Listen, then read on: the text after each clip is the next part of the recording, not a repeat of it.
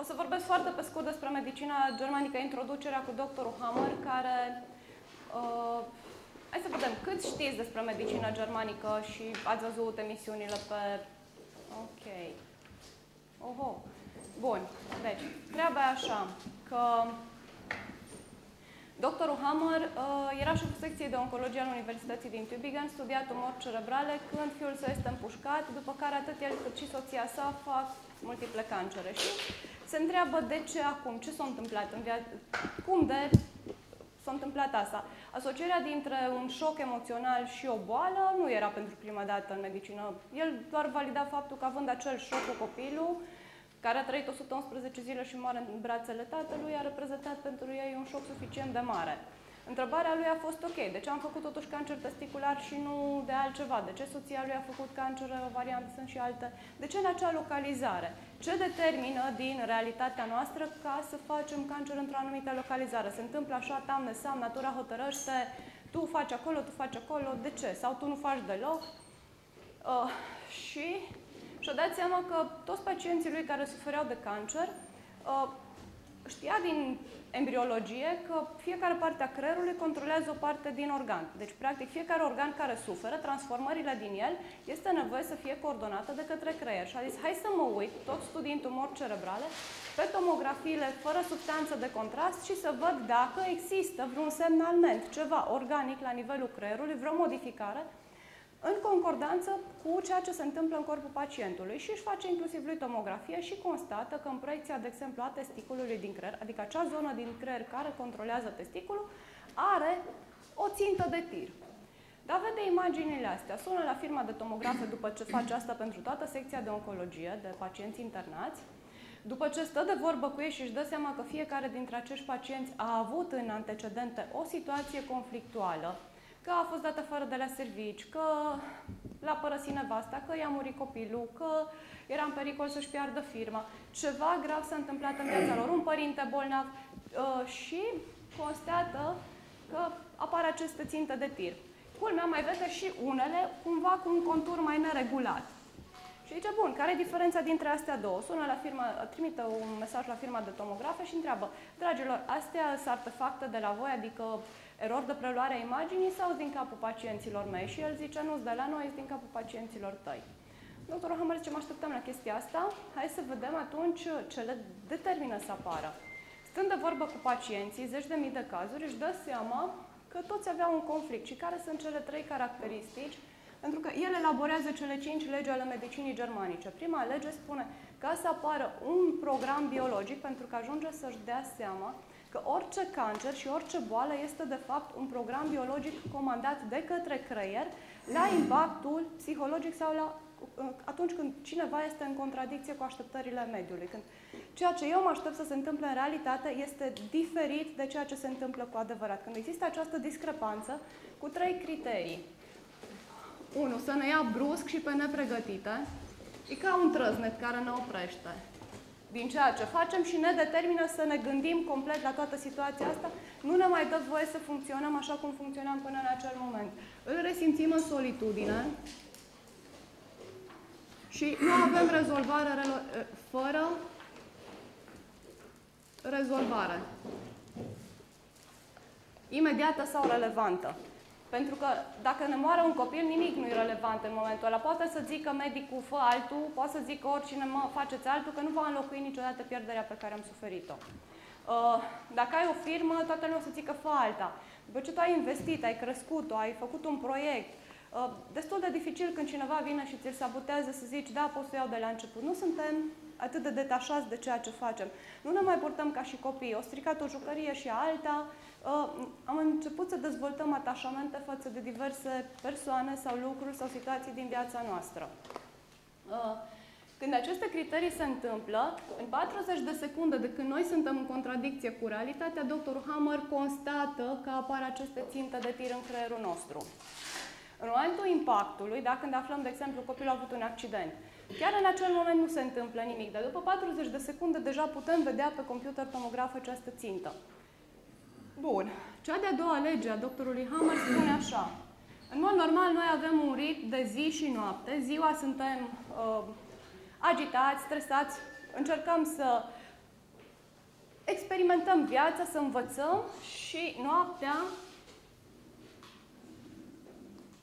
creierul nostru intră într-o stare de liniște, corpul nostru intră într-o stare de vagotonie, de liniștire și, practic, acel sistem ne ajută să dormim și să rearanjăm toate informațiile pe care le-am acumulat de-a lungul zilei într-un alt fel, într-o altă formă. Ei bine, dacă pe un acest astfel de ritm la un moment dat apare acest șoc, da, avem acea țintă de tir la nivelul creierului, e o zonă în care se deshidratează practic țesutul cerebral, ajungem într-o situație conflictuală. Această situație activează acel sistem nervos simpatic și merge cu ce? Este, cum o numește doctorul Hammer, faza rece sau faza activă de conflict. În toată perioada asta noi nu avem somn, nu avem poftă de mâncare, de ce nu avem somn? Totul este foarte logic în organism. Nu avem somn pentru că dacă noi am dormit, corpul nu și-a rezolvat problema. Dacă noi am fi preocupați de digestie și de mâncare și am putea mânca și am avea poftă, creierul nostru și-ar ă, direcționa acele rezerve energetice spre digestie și nu spre rezolvarea conflictului. De ce este atât de important să ne rezolvăm aceste conflicte? Pentru că, din păcate, o astfel de țintă de tir în timp continuă să crească. Pe măsură ce noi nu ne rezolvăm conflictele, crește și crește și crește și am văzut la un moment dat astfel de tomografii care aveau o țintă de tir pe toată suprafața creierului. Ceea ce înseamnă că prinde releele organelor din jur. Dacă, de exemplu, avem o secțiune prin trunchiul cerebral și avem, sau prin cerebel, da? și avem toate releiele, zonele care controlează câte o părticică din corp, Păi imaginați-vă că în partea asta creierul e destul de mititel. Dacă faci un releu într-un din asta și prinde mai multe organe din jur, ajungem să spunem că acest cancer s-a împrăștiat. E bine, cancerul nu se poate împrăștia pentru că în sângele nostru nu a fost găsită niciodată cu adevărat vreo celulă tumorală. Cum vă pot demonstra asta?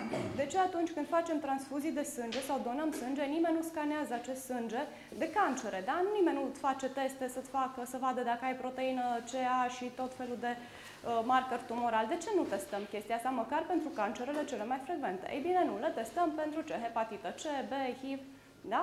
Deci, plus că dacă aceste celule s-ar plimba de capul lor prin sânge, cele mai frecvente tumori ar trebui să fie tumorile de sânge, de vase de sânge. Ei bine, nu este așa. Ele sunt, culmea, ocupă un procent foarte mic. Bun, presupunem că o celulă tumorală din asta amețită pleacă de la n-are ce face, se mulțesc exagerat și ajunge în vasele de sânge. Și se plimbă prin vasele de sânge și ar vrea să ajungă la os. Surpriză! Ajunge la os, dar noi zicem, bun, în sânge n-am găsit-o, înseamnă că se plimbă prin limfă, dar atunci nu se poate. Dacă ea se ia și se plimbă prin limfă, limfa nu ajunge niciodată la os. Bun. Și atunci cum e posibil ca plimbându-se prin limfă, nu prin sânge, ele să ajungă la os? Fiindcă vasele limfatice nu ajung în os, ci doar vasele sanguine.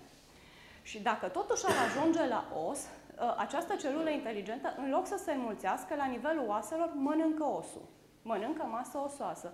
Păi cum e posibilă treaba asta? Ce logică ar avea o astfel de împrăștiere? De ce la nivelul plămânilor creează acei noduli pulmonari, la nivelul ficatului face noduli în ficat, face tot felul de ganglioni, dar de ce mănâncă oasele? Pentru că nu mai e logic.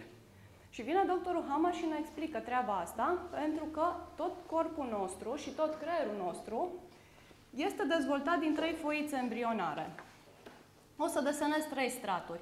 Unul este endoderm, unul este mezoderm și celălalt este ecto. De ce e important asta? E important cum le cheamă, ci ce se întâmplă cu ele. Din stratul interior se dezvoltă tot tubul digestiv, de la orificiul de intrare până la ieșire, plămânii și organele reproducătoare. Și nu întâmplător, toate organele dezvoltate din endoderm sunt responsabile de funcțiile de supraviețuire, digestie, respirație, anumite părți ale excreției și de reproducere. Da? Sunt acele funcții foarte vechi pe care le are orice animăluț. El descoperă că în timpul perioadei intrauterine, noi reiterăm evoluția vieții pe Pământ. În 9 luni jumate, omul ajunge, de fapt, să treacă prin tot felul de stadii de mormolog de la prima diviziune celulară. Tot la prima diviziune celulară se stabilește lateralitatea noastră biologică. Noi suntem fie stângaci, fie dreptaci.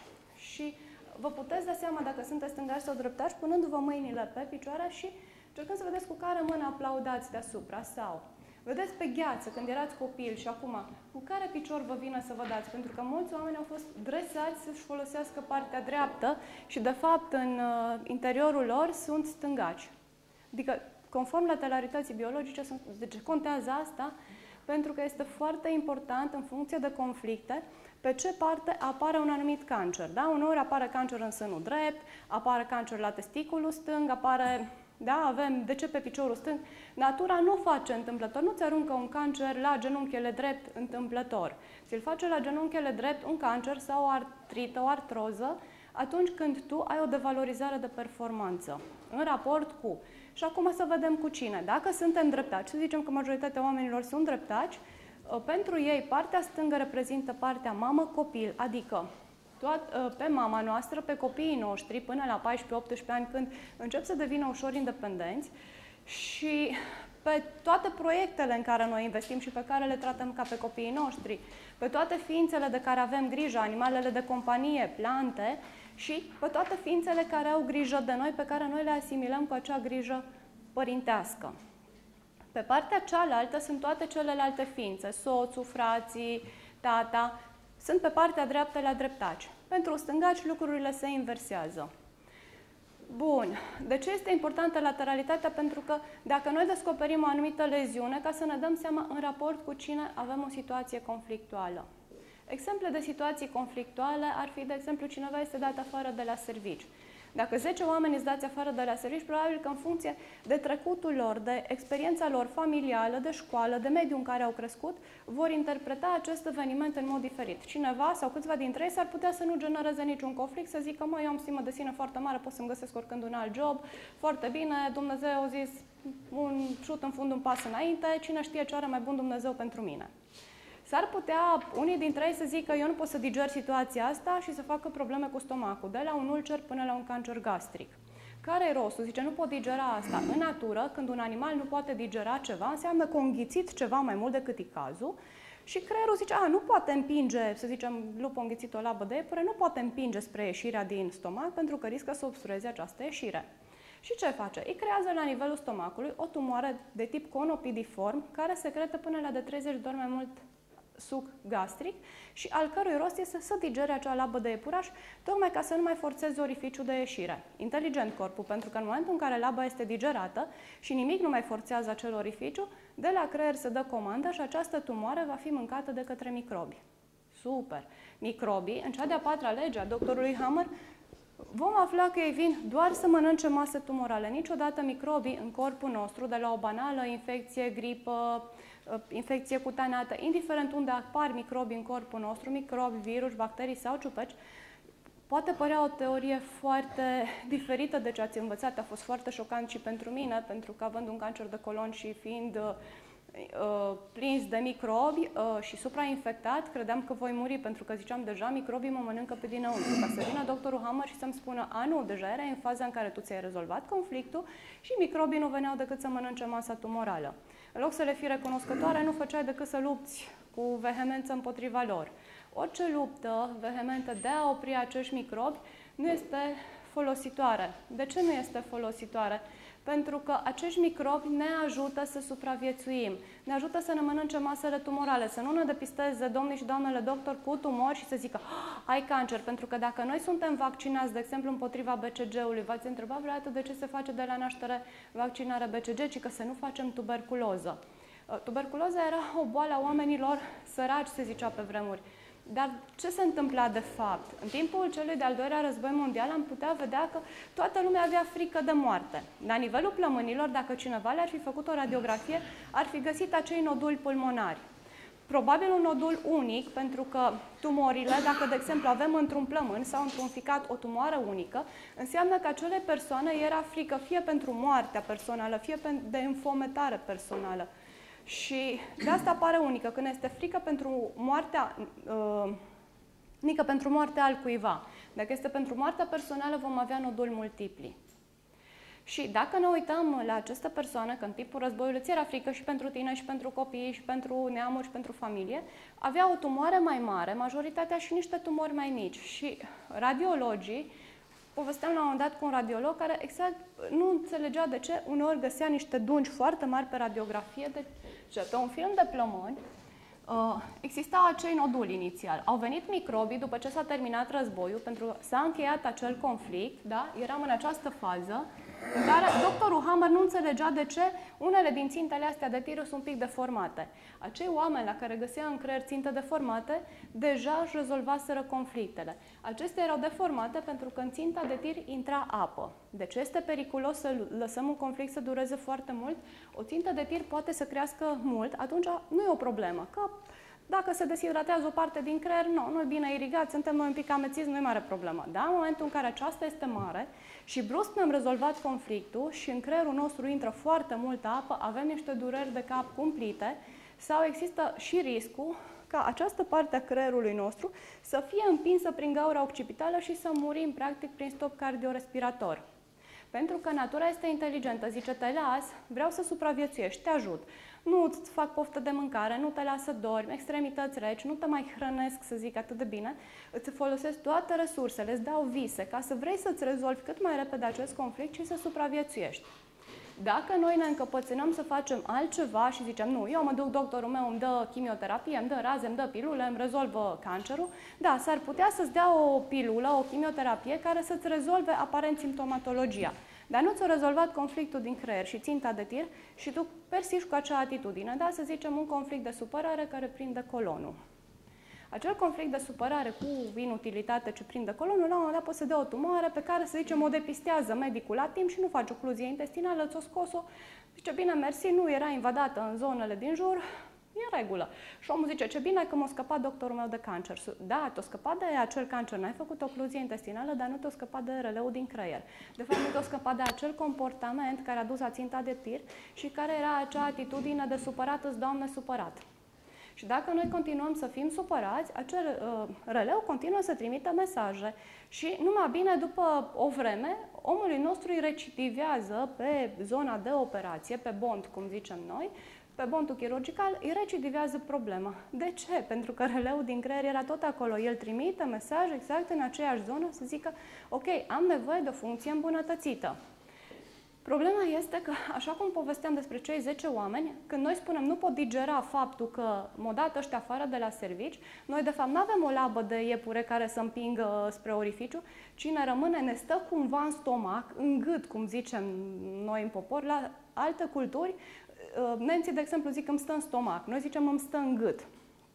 Uh, acest îmi stă în stomac, de fapt, nu duce decât să generăm în interiorul nostru o conopidă din asta, un cancer, un ulcer, care să, să producă ceva astfel încât noi să reușim să digerăm până la urmă problema.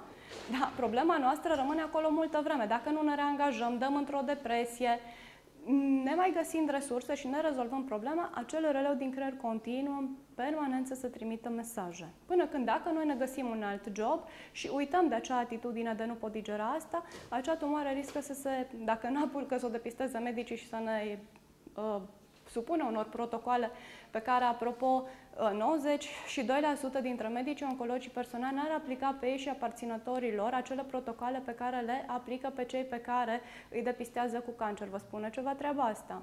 În plus, statistica mondială spune așa, că după 5 ani, din momentul depistării, procentul de supraviețuire cu protocoalele clasice este sub 10%, undeva în jur de 7%. În schimb, medicina alternativă, nu vorbim de medicina lui Hammer, la care procentele sunt peste 89%, unele chiar 97, 99%. Bun. Uh, și noi mergem în protocol clasic, oare suntem ființe inteligente? Nu știu. Răspundeți-vă singur și noi ne considerăm oameni și superiori animalelor. Și culmea, animalele în sălbăticiune fac cancere și se vindecă de ele.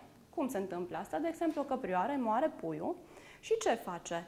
Uh, face un cancer de sân. Dacă îl mănâncă lupul sau moare singur, nu știu, cade în prăpastie, nu mai are pe cine alăpta, natura inteligentă. De la creier se trimite mesaj și, practic, ductele ei cu lapte se ulcerează. Practic, se mănâncă la comanda creierului din perete o bucățică, astfel încât să-l facă mai larg și să poată evacua laptele. Asta este un cancer, da? Uh, căprioara tocmai a pierdut un pui și are acel sentiment de pierdere. Și atunci, pentru această pierdere, face un cancer ovarian. Care e rostul cancerului ovarian? De a, ă, de a o face pe ea să producă mai mulți hormoni sexuali feminini, ca ea să rămână din nou gravidă și să aibă iar un apetit sexual și să o lasă iară sărcinată și prin această sarcină să recupereze pierderea suferită. Bun. Și culmea, în momentul în care ea rămâne din nou gravidă, acel cancer de sân se resoarbe de la sine.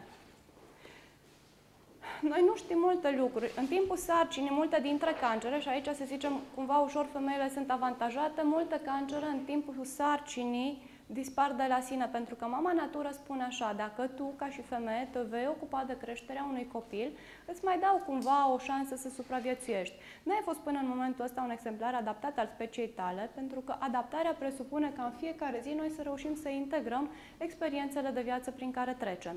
Dacă la un moment dat aceste experiențe sunt prea greu de dus și intrăm în acea fază rece de simpaticotonie, de agitație, adică faza activă, noi practic pierdem foarte multe resurse. Noi nu mai suntem adaptativi, nu mai creștem, nu mai ajutăm această specie și această lume să, să se dezvolte, să evolueze. Nu mai contribuim la evoluția speciei. Nu mai suntem ființe adaptative. Culmea, mama natură s-a prins că avem toate șansele să dăm exemplu prost pentru ceilalți membri ai speciei și zice nu te țin foarte mult în viață. Îți dau, să zic, un termen. Până în momentul ăla, dacă nu-ți faci treaba, intrăm pe programe de sacrificare. Ah, de ce? Pentru că dacă îți epuizezi resursele de energie sau tumoarea crește foarte tare, produce blocaje mecanice. Hai să zicem că totuși avem chirurgie, mai reușim să-i prelungim viața, dar dacă omul nu își rezolvă și nu își rezolvă conflictele, până la urmă moare prin epuizare de energie. Dacă nu, cumva moare de frică. Pentru că dacă mai face și o frică, ne trezi, frică de moarte, ne trezim că face nodul la plămâni. Dacă se trezește deștept ca mine, că am zis, eu vreau să-mi fometez tumoarea, că știam acea teorie că aceste celule se mulțesc, nebunește ca și celulele unui embrion, am zis, foarte bine, nu o lasă că te înfometez. Eu 10 zile nu mănânc nimic și eu o să moară tumoarea de foame. Da, de unde?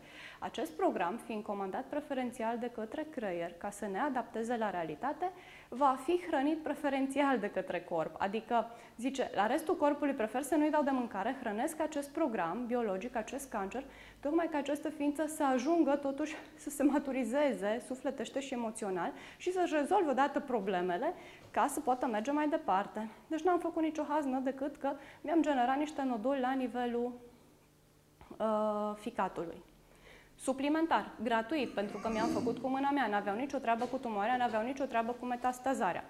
Dacă ne trezim deștept să facem și o devalorizare de sine, să zicem, vai, cum de mi s-a întâmplat mie un cancer, e o ființă atât de bună, de, nu știu, fiecare avem o părere bună despre noi, Uh, mai ales în momentul în care ne trezim cu un cancer și îl privim ca pe o sentință la moarte, zicem, cum, ce am făcut chiar atât de rău încât să-mi dea Dumnezeu sau să fac un cancer?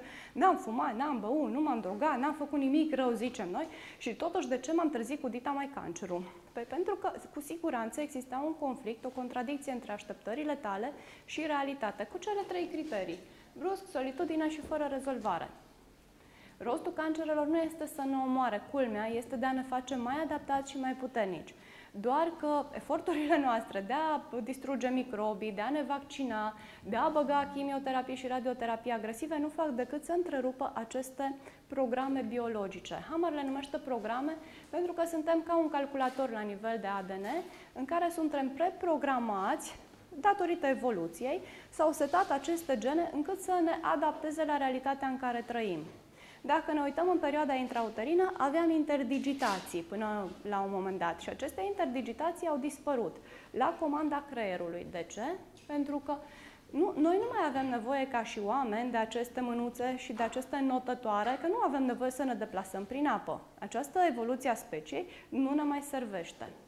Ei bine, la fel se întâmplă cu toate celulele din corpul nostru. Fiecare organ, celulele lui suferă de ceea ce se numesc, sau trec prin moarte celulară programată. Și știm asta, da? Știm că celulele din piele se desco- trăiesc 28 de zile după care sunt înlocuite, hematile 120 de zile. Fiecare experiență din corpul nostru nu este întâmplătoare. Aceste durate de viață au fost stabilite în baza evoluției genetice cam care e timpul de uzură. Celulele intestinului, unde avem acea floră și acele, să zicem, excremente, ceea ce nu mai are corpul nevoie, trăiesc 3 zile Nu este întâmplător. Avem celule care durează o zi, avem celule care durează câteva ore. Deci ritmul lor de schimbare este proporțional cu ritmul de uzură. Face sens pentru voi asta? Este logic? Ok. Deci, corpul nostru și natura este extrem de inteligentă, doar că noi avem senzația că cu cei 3% conștient pe care îi folosim suntem mai deștepți decât mama natură și ne străduim să intervenim în programele ei. Ei bine, această fază rece uh, este urmată de faza caldă. O să șterg animația asta. Uh. Pentru că acești ce vreau să desenez cu plămânii? Acei noduli ajung să fie mâncați de bacteriile tuberculoase și noi expectorăm, zicem am făcut tuberculoză. Expectorând acea uh, spută cu microb, noi zicem, vai, are tuberculoză, bietul, hai să-i dăm chimioterapie cât încape, că altfel moare. De ce pe vremuri, deși nu exista chimioterapie, uh, acei oameni care făceau tuberculoză și erau bogați, erau trimiși la țară să facă foarte puțin efort, adică să nu facă efort, doar să se plimbe. Da, acele doamne care făceau tuberculoză erau trimise la țară, mâncau ușor, primeau hrană din asta hiperproteică. De ce? Pentru că acești bacili tuberculoși se hrănesc cu proteine structurale, au nevoie de carne. Dar dacă noi ne trezim deștept și dăm unui astfel de om care are un cancer, controlat de către creierul vechi, pentru că fiecare tip de cancer este controlat de o parte a creierului nostru. Da, ăsta e trunchiul cerebral, avem în spatele lui cerebelul cu doi lobi și avem peste ei scoarța cerebrală cu girusurile ei. Bun. Ce se întâmplă? Dacă un uh, cancer are zona care o controlează aici, cum este frica de moarte, da? la nivelul plămânilor vor crește tumori în fază activă. În faza de vindecare vin microbii și mănâncă tumorile. Și o mănâncă și o mănâncă și aici rămâne practic o gaură, adică practic o alveolă, am zice noi, mai mare. Doar că alveola asta nu e funcțională. Și la un moment dat corpul se prinde că nu e funcțională și ce face? Ne face să tușim sau să facem un efort la care asta se colabează. Și un radiolog o să vadă o dunguliță pe radiografie și zice, ai avut frică de mo-". Dacă ar ști medicină germanică, zice, aia, ai avut frică de moarte. El zice, ai avut tuberculoză la un moment dat, dar te-ai vindecat. Ai luat ceva terapie? Mulți dintre ei zic, nu, habar n-am avut că am avut tuberculoză. Adică habar n-am avut că de fapt la un moment dat am avut o frică de moarte foarte mare. Și oare suntem pasibili să facem frică de moarte de-a lungul vieții? Da, pentru că din momentul în care ne naștem și până murim, noi știm cumva că și noi și cei din jurul nostru au toate șansele oricând să moară. Deși aparent au toate șansele să trăiască, Totuși, există acea frică. Se îmbolnăvește mama, se îmbolnăvește copilul, eu vai să nu moară, să nu moară ăla, să nu moară bunica, să nu moară persoanele noastre de atașament. Noi nu am fost învățați că moartea este un fenomen firesc care asociază viața. Niciunii dintre noi nu ne-am gândit în momentul în care am adus pe lume copii că acești copii ar avea toate șansele să moară înaintea noastră. Ca un accident, ca o boală, că ceva se poate întâmpla cu ei și să, să plece din viețile noastre. Noi privim moartea ca pe un fenomen foarte tragic și uităm să ne trăim viețile. Bun, asta e cu tuberculoza și cum vin microbii să mănânce această problemă. Dar, în momentul în care noi ne-am rezolvat, să zicem, frica de moarte, am înțeles că ne-am făcut această cu mâna noastră, acești noduli, corpul intră în ceea ce dr. Hammer numește faza post-conflictuală. Post-conflictuală, faza.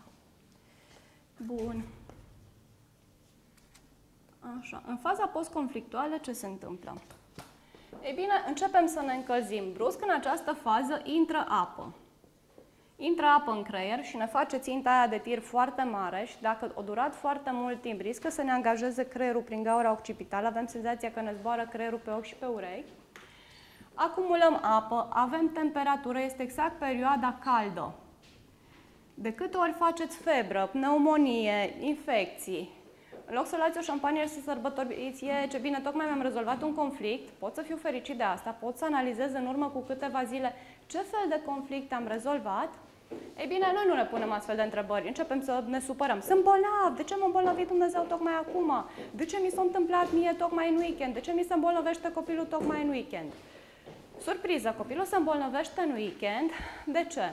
Să o luăm logic. Uh, îl luăm de mic, când lui ar fi foarte bine acasă cu mama, care se hotărăște să se întoarcă la job, și copilul e dus la grădiniță. Ce se întâmplă la grădiniță? Mirosurile de la grădiniță sunt diferite de mirosurile de acasă. Nimeni nu miroase ca și mama, nici o educatoare, niciun spațiu nu e ca și acasă.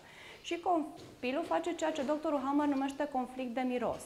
În plus, el nu poate mirosi, nu poate adulmeca, am peste cât timp o să vină părinții mei. Degeaba ducem copilul și spunem venim după tine la amiază sau după masă pentru că el nu are noțiunea timpului. Noi vorbim cu copilul ca și cum am vorbit cu un adult. Peste trei ore vin după tine și copilul ce a trei ore, mama, eu te vreau acum, nu vreau să vii peste trei ore, nu vreau să vii după masă, nu vreau să vii după ce dorm, vreau să vii și să stai cu mine.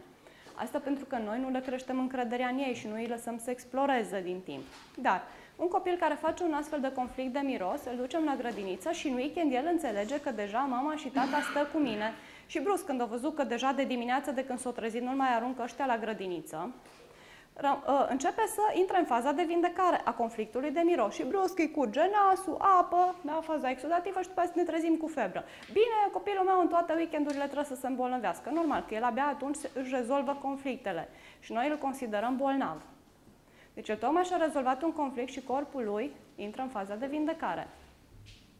Dacă ne trezim și mai deștept și ceva, copilul meu are febră, hai să-i dau antibiotice, hai să venim pe el cu emoție negativă, numai bine stresăm din nou copilul și aparent îi reducem febra, se face cât de cât bine și pe când să ne întoarcem luni la serviciu, iar are febră. De ce? Pentru că toate antibioticele noastre n-au făcut decât să anuleze această fază în care psihicul nostru și creierul și corpul intra în acea fază de vagotonie, se numește. Vagoton, deci această perioadă este vagotonă, această perioadă este simpaticotonă. Sistemul simpatic este acel sistem de adrenalină care ne ajută să supraviețuim, funcționează pe butonul de fugă sau luptă.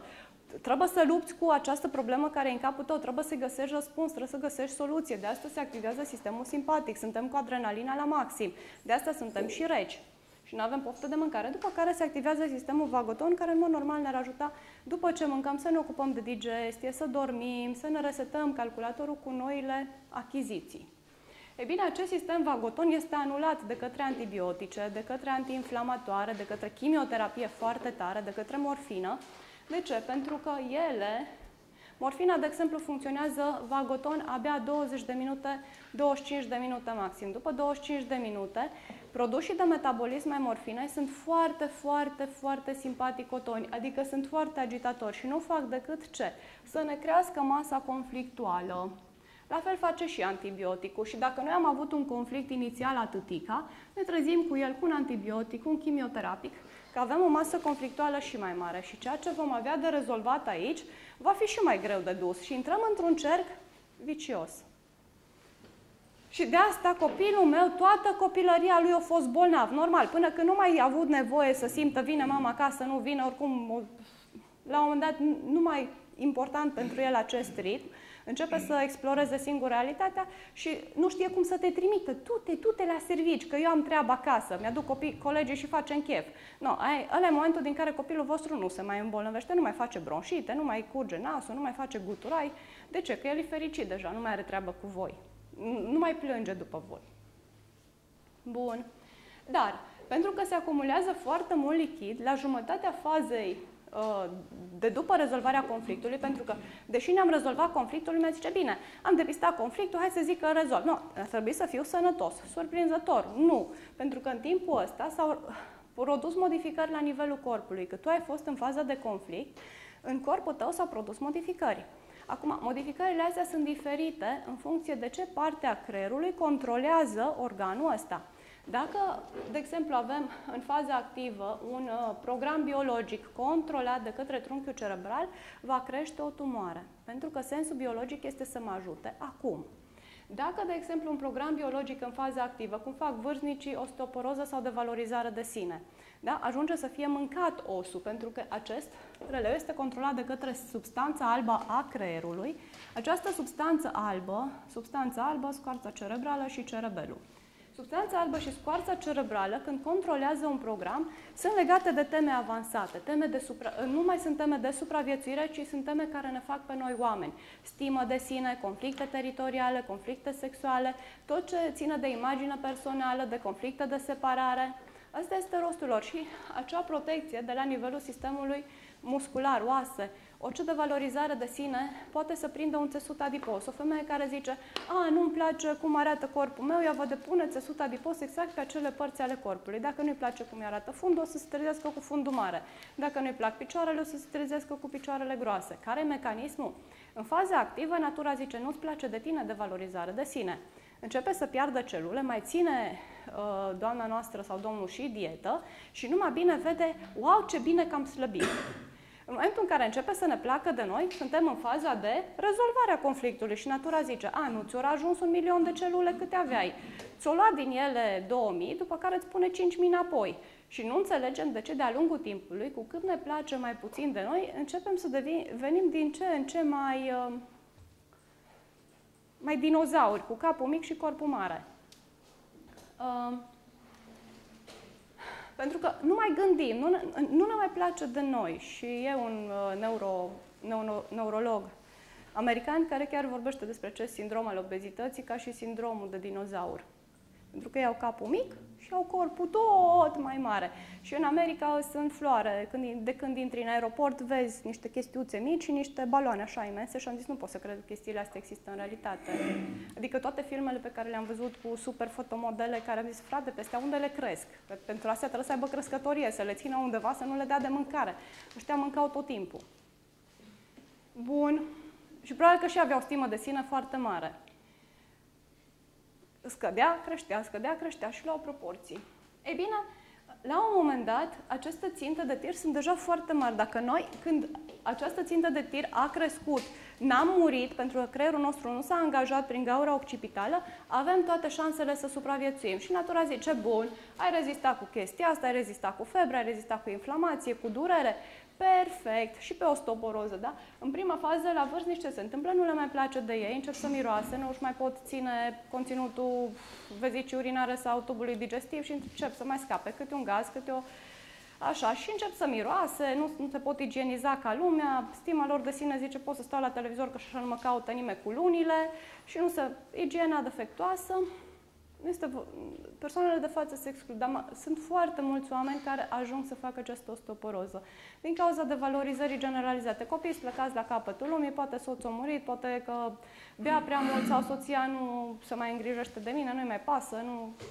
Și, uh, și începe, sau au devenit foarte certăreață și guralivă și asta o să vorbim zilele următoare pentru cei care veniți, de ce ajungem la menopauză și femeile încep să se poarte ca bărbații, de ce nebunește bunica și bunicul devine blând și bun, de ce este nevoie să-și schimbe acele atitudini de la nivelul creierului ca el să devină mai feminin, mai blând și bunica să devină mai turbată, ca să vadă ce înseamnă să fii stăpână pe teritoriu și să-l înțeleagă pe bunicul. De ce a fost el nevoie să fie mai serios, mai dur la un moment dat? Uh, tot ce se întâmplă în corpul nostru e extrem de inteligent. Um, și adaptativ. Vrea să ne facă mai puternici și mai adaptați.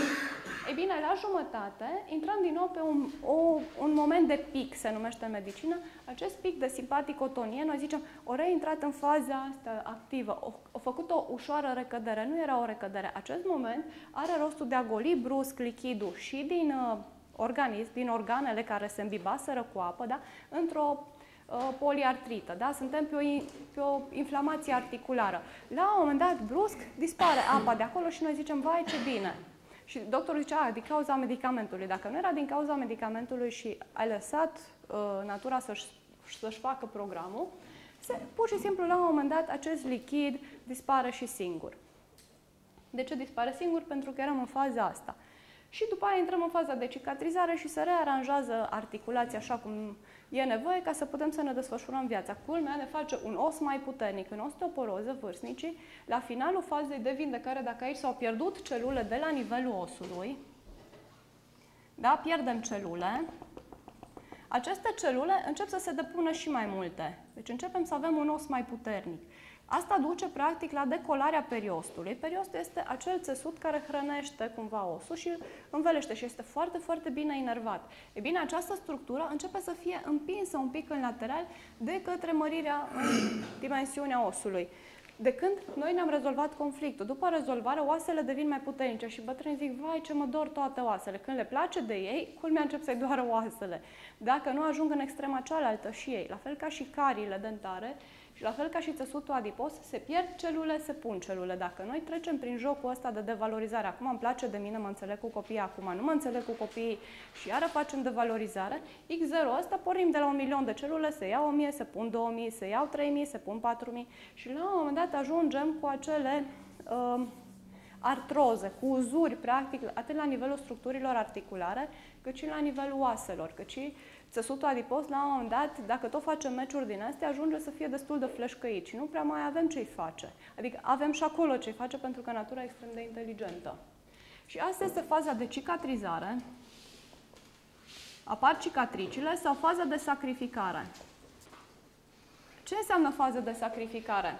Dacă, de exemplu, avem un program biologic de valorizarea de sine sau un alt program biologic ar fi un conflict teritorial. Pe curbura mică a stomacului, un conflict de a nu putea digera, conștient, suntem foarte furioși pe chestia asta, și prinde curbura mică a stomacului, Asta este controlată de către scoarța cerebrală, cum am face o secțiune pe tomograf, de un releu de aici, din scoarța cerebrală. E bine, dacă ăsta controlează curbura mică, inițial merge cu o ulcerație. Se ulcerează această curbură mică, după aia crește o mică tumoare în faza de vindecare. Dacă un astfel de conflict durează mai mult de 9 luni jumate, în acest moment natura ne omoară. De ce? Zice, ție ți-a luat pe un astfel de conflict de alimentare mai mult de 9 luni jumate să rezolvi. Sau poate fi un conflict teritorial sau sexual. Pentru că emisfera stângă este emisfera feminină, emisfera dreaptă este emisfera masculină. Pe emisfera dreaptă apar la bărbați toate conflictele teritoriale, vorbim despre scoarța cerebrală. Acestea merg în prima fază cu pierdere de celule, în faza a doua cu plus de celule. Ce, ce se întâmplă de fapt este că dacă un astfel de program biologic durează în fază activă mai mult de 9 luni jumate, când l-am rezolvat, practic în acest moment, Hammer o numește criză epileptoidă sau criză epileptică. Dacă este un conflict motor, de exemplu la o scleroză multiplă, Ceea ce se întâmplă este că vom trece printr-o uh, criză de epilepsie. Acea criză de epilepsie merge cu convulsii, cu... Rostul, rostul acestei crize este să întrerupă cumva comunicarea dintre creier și organ și să ne lasă un moment suspendat. Adesea vedem, de exemplu, anumite persoane că uh, au cancere și leșină. Și culmea, noi considerăm că s-o agravat, s-o întâmplat ceva. Pe unii oameni, de exemplu, în anumite forme de cancer, îi prindem abia aici, abia la începutul creșterii tumorilor. De ce? De exemplu, un osteosarcom, o tumoare de oase. Da, un copil joacă fotbal, uh, face devalorizare pe genunchi, echipa pierde meciul din cauza lui, se mănâncă structurile osoase și articulare din zona genunchiului și ce face? Îl, nu simte, simte ceva jenă în cel mai rău caz, după care câștigă meciul echipa din cauza lui. Brusc, discrepanța dintre uh, faza activă și faza de vindecare e foarte mare, ca să producă acest șoc, el nu se aștepta la asta și se simte foarte valorizat. Ceea ce natura zice, Bruce, trebuie să-ți fac un os mai puternic. În sfârșit, ești ok, uh, ești valabil. Și atunci practic decolează periostul și începe să aducă vase de sânge din jur și ne trezim cu un amestec de os, ligamente, țesut muscular. E un amalgam. Noi zicem, vai ce problemă disfuncțională, ce invaziv e cancerul ăsta. Nu. Era doar un program comandat de către creier care la finalul fazei de vindecare, adică aici, ar fi făcut copilului un os mai puternic, o musculatură mai puternică. Doar că medicina ajunge să depisteze toată treaba asta mult mai repede și zice, a, ai cancer. Și ce facem? Ai cancer de os. A, trebuie să-ți amputăm piciorul până după prima articulație liberă de cancer. Bun, și ne trezim că îi amputăm piciorul. Dacă unui astfel de copil i-a amputat piciorul când toată viața lui nu vede decât fotbalul, dacă nu se sinucide, că practic ăsta era unul din cazurile cu care am lucrat și la care copilul s-a sinucis când i s-a amputat piciorul, oricum primea radio și chimioterapie și speranța lui de viață era undeva la sub 5 ani. Și el a zis, oricum de cancerul ăsta ajung prin ce? Să trec, să am dureri, să iau morfină, să iau nu știu ce. Nu, luați voi. Dacă n-am putut să trăiesc așa și să fac fotbal, pa la revedere. Și de fapt copilul ăsta tocmai își rezolvase conflictul. L-am ajutat să moară? Da.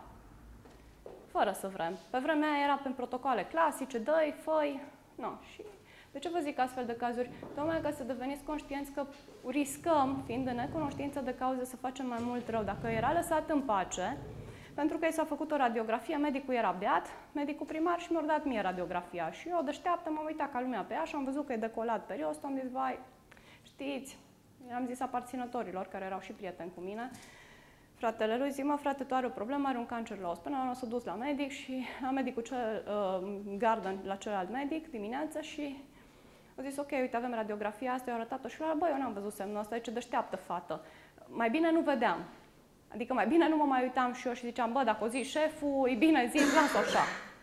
Uh, și practic copilul a ajuns să moară pentru că deja îi se făcuse chimio, rază, îi se amputa piciorul, iară creștea chestia acolo. De ce? Pentru că deși ei au operat acea structură, ea se reface, ea vrea să te ajute să-ți facă un os mai puternic. Natura nu înțelege de operație. Un program normal, în natură, pe o căprioară, n-are cine să o opereze o lasă în pace. Dacă poți și nu te prinde lupul și rămâi sub frunze sau într-o vizuină și ai scăpat și ți s-a refăcut piciorul, la sfârșit, după câteva luni, dacă ți aduce cineva de mâncare sau nu mor de foame, ai un os și un mușchi mult mai puternic și căprioara noastră să fie mai grozavă decât era înainte, dacă luxa piciorul într-o săritură nepotrivită. Așa funcționează natura și cu noi. Dacă ne rezolvăm de valorizarea de performanțe, la sfârșit, copilul ar fi avut un os mai, mai puternic și atât. Asta știe să facă. Dacă ar fi durat, de exemplu, un program biologic, un conflict teritorial, copilul e luat de acasă, mama se întoarce la servici și pe copil îl duce la bunici. De la câteva luni, lua lăpta 2, 3, 5 luni, după care zice, dă bunică lapte de vacă, ai grijă de el și mai vine după el la 7 ani. Să-l ducă la școală, să facă din el. Nu, acum e copil de, nu mai lăsăm la țară, îl ducem la școală, să facă uh, școală la oraș. Bun și îl aducem la școală, unde copilul avea tot câmpul, toate dealurile, toate pădurile la dispoziție. Ce facem cu el? Îl aruncăm în școală, unde stai cu minte în banca ta, nu mișca, nu vorbi, unde el a urlat pe dealuri și a chiuit și a făcut tot ce i-a trecut prin cap, ține-l pe copil în pușcărie, îl ții pe scaun, în lanțuri și mai stai și cu minte și nu vorbi și dacă se poate fi și atent la cineva care vorbește nonsensul și pune să facă liniuțe și nu găsește niciun rost pentru chestia asta. E bine, un astfel de conflict copilul ajunge să facă un conflict teritorial, să zică vreau înapoi la bunici, nu înțeleg ce cu nebunia asta. Părinții se așteaptă să știe să treacă strada, să vorbească frumos și să mai și ceartă cu el și ce, uite-te cum te-au stricat bunicii ăștia, te-am lăsat acolo să aibă grijă de tine și uite-te că și-o bătut joc de copilul meu. Mai auzim și când vorbește mama cu vecini, uite ce-a făcut din el soacra asta sau socrul ăsta sau mama sau nu știu ce. Și copilul face de valorizare și zice, da, bunicii aia, eu ei iubeam, ei aveau grijă de mine, ei se purtau frumos cu mine, nu mă certau, nu mă băteau, nu, nu mă agresau, nu vorbeau urât. Nu vorbesc ei urât de voi, voi de ce vorbiți urât de aceștia? Și copilul intră într-o situație conflictuală. Plus că la bunici se simțea acasă, aici poate nu mai are camera lui, acolo avea toată casa, aici îi se spune fă ordine la lucruri și copilul e șocat, zice, ce spune bunii ăștia? ce cu fam- părinții mei nu mai sunt adaptativi pentru mine, sunt niște mici monștri. Și totuși trebuie să supraviețuiesc cu ei că oricât aș urla și m-aș chinui, nu mă mai duce nimeni înapoi la bunici. Pentru că părinții au fixul lor, copilul trebuie să facă școală aici.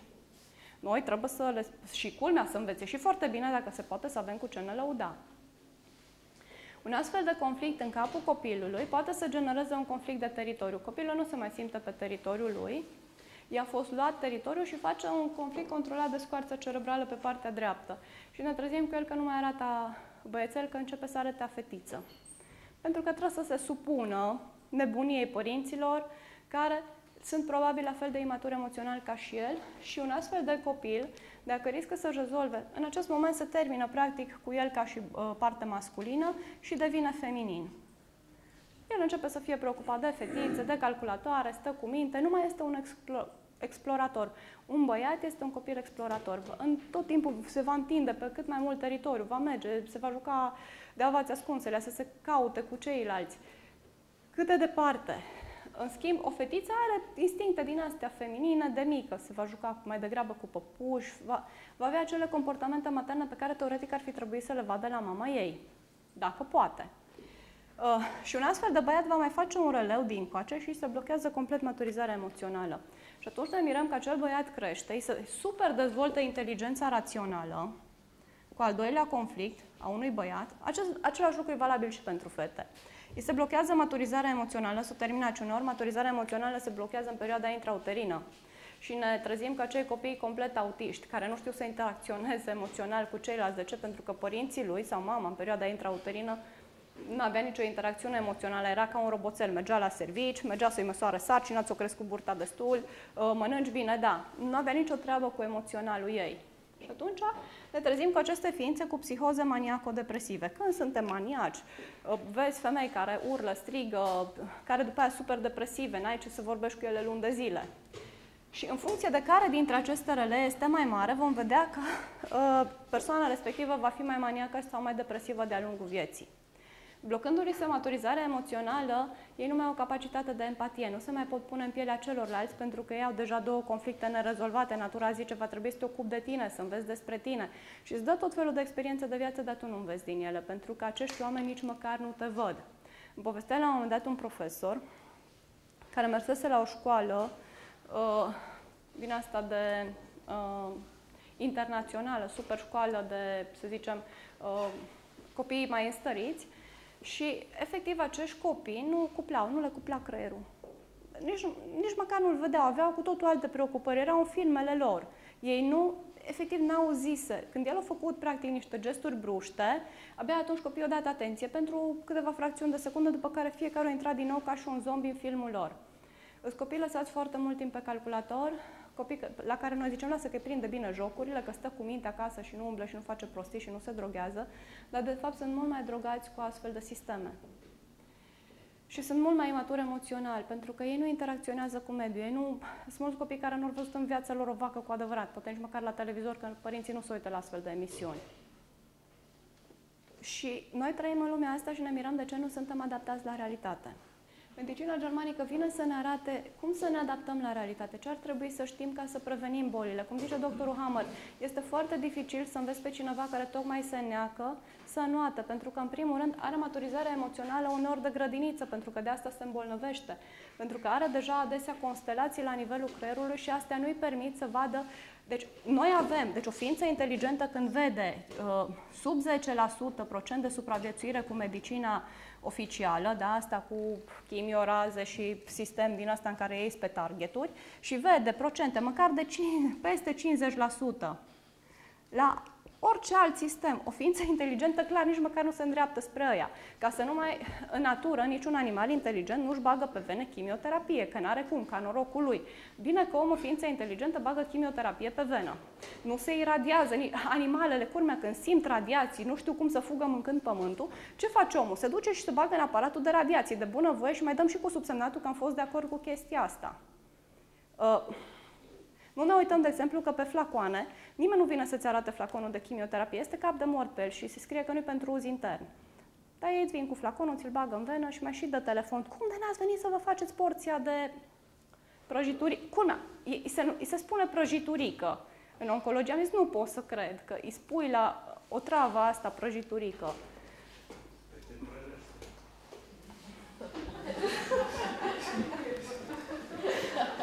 Bun, și noi ne numim ființe inteligente. Adică, da, suntem inteligente, raționali, stăm și citim despre cum să ne creștem copiii, în loc să fim atenți la nevoile lor reale. Nu, lasă copilul să plângă, că așa s-o trezit o deșteaptă să zică, lasă-l 3 ore și alăptează-l din 3 în 3 ore. E, poate nevoile lui emoționale sunt diferite și poate că dacă le ține la piept, n-ai mai avea vreme să nebunești uitându-te la toate prostiile din jur. Și vedem femei care stau la televizor și lasă copilul să urle în cealaltă cameră ca disperatul. Evident, ființa aia care urla disperare, uh, nu e cu nimic de vină că tu stai să citești cărți și că nu-ți folosești instinctele materne. Uităm să ne ascultăm instinctele și ne îmbolnăvim. Și cum zice doctorul Hammer, plătim prețul practic ignoranței în care, care locuiește în capul nostru. De asta adesea cursurile de medicină germanică, cum zice Hammer, nu sunt pentru bolnavi, că ea adesea sunt atât de speriați de moarte, de diagnostic, încât vor căuta întotdeauna în afara lor soluții. Trebuie să existe o pilulă magică care să mă facă bine pe mine, că la banul meu eu îmi pot permite chestia asta. Nu, chestia asta cu banii mei am trăit-o și eu cu tata, cumpărând citostatice experimentale, care aveau procent de supraviețuire 98% și au murit cu brio în 3 luni. De ce? Pentru că inteligența mea era zero emoțională. Funcționam la nivel de fac parte dintr-un sistem, sistemul ăsta este menit să ne ajute. Da, tocmai de aia m-am făcut medic în ideea în care voi ajuta foarte mulți oameni să se facă bine. Ei bine, după ce am ajutat pe câțiva să moară cu brio, mai ales pe câțiva din familia mea, o trebuie să trec eu prin cancer ca să am început să stric tare la șeful și am zis, Doamne, păi învață-mă, nu știu, se poate, se moară de cancerele astea, eu mor pe oamenii ăștia cum vrei tu. Eu cred că totuși preotul îmi zicea de mică că ești un părinte bun. Eu ca și părinte bun, dacă ar veni copilul meu și m-ar întreba, mamă, dar de ce? Tot îmi dai în cap, că na, parcă aș vrea totuși să știu, măcar acum. De ce? Ce vrei să mă avertizezi? Ce cu toată chestia asta? N-ai altceva de lucru? chiar vreau să înțeleg dacă se pot vindeca cancerele și cum putea Dumnezeu să mă învețe mai bine dacă se pot vindeca? Mi l-a dat mie, că na, nu poți decât dacă ești tu din el să-ți dai seama dacă se pot sau nu vindeca. Și se poate. Sunt aici, ar fi trebuit să mor acum peste șase ani, de un cancer de colon depistat în fază terminală. Asta după ce ani de zile m-am dus în clinică și am zis, faceți-mi colonoscopie, eu sigur am o problemă cu colonul. Mi s-a zis, a, ești ipohondră la 30 de ani, cum să ai tu cancer? Nu se poate. Și ce? Din liceu. Ziceam, da, sângerez pe fund, ai hemoroizi, hai să te operăm de hemoroizi. Nu vreau să mă operez, că știu eu, corpul meu e foarte inteligent. Asta îmi zicea tata. Corpul e foarte inteligent și el se descurcă. El nu vrea să facă citostatice, eu l-am obligat să le ia și am zis, ca și mulți aparținători și dacă o să aveți vreodată în familie pe cineva cu cancer, țineți-vă gura.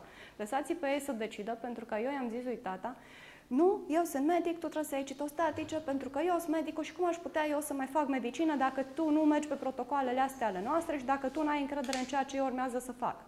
Tu mi-ai zis să mă fac medic, nu, acum n-ai decât să le înghiți, că, să le iei pe venă, că așa e filmul. Și a murit omul cu brio ca să ajung să învăț medicină germanică și să-mi dau seama că tata tocmai își rezolvase un conflict cu mama sa și numai bine l-am omorât gratis. Evident că mă mobilizează un astfel de lucru să vin să țin astfel de cursuri. Pentru că mi se pare normal că în momentul în care faci o prostie să înveți și pe alții să nu mai facă. Pe cei care vor, evident. Pentru că nimeni nu o să vă oblige când ieșiți pe ușă să faceți ceva. Este pur și simplu alegerea voastră. Fiecare în funcție de maturizare emoțională pe care o are, o să ia decizii. Unii dintre voi s-ar putea să uitați complet că, bă, o vorbi la un moment dat o fătucă despre ceva. S-ar putea să vă mai amintiți peste 10-20 de ani. Alții s-ar putea să se apuce să-și facă un jurnal, pentru că, de exemplu, oamenii care lucrează cu mine și sunt câțiva în sală știu foarte bine că fără jurnal nu lucrez cu ei. De ce? Pentru că acel jurnal ne ajută foarte mult să ne dăm seama cine suntem cu adevărat. Acolo ne notăm, dacă să ne putem maturiza emoțional, avem nevoie să știm cine suntem. Noi avem impresii în cap că suntem buni, că suntem frumoși, că suntem nu știu ce. Da, toată lumea credea și despre mine că sunt foarte bună și că am cea mai perfectă relație de cuplu. Când ieșeam în public, dar eram cel mai perfect. Când ajungeam acasă, mă întrebam cine e străinul ăla și ce caută în viața mea și a copiilor mei.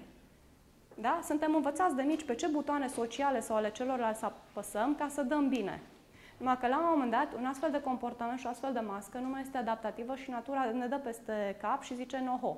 Și ne face acel, uh, acea țintă de tir și zice dacă nu ți-o rezolvi, s-ar putea să mori.